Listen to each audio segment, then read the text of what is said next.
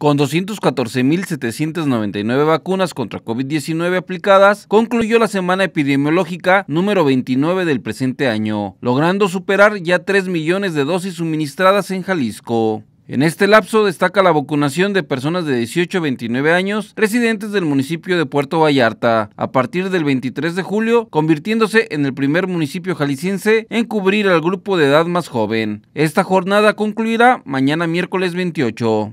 La mayoría de las vacunas que se aplicaron durante la semana epidemiológica 29 corresponden a la farmacéutica Pfizer BioNTech con 129.700 dosis, AstraZeneca con 58.476 dosis, seguidas de 26.253 dosis de Sinovac y 370 de CanSino.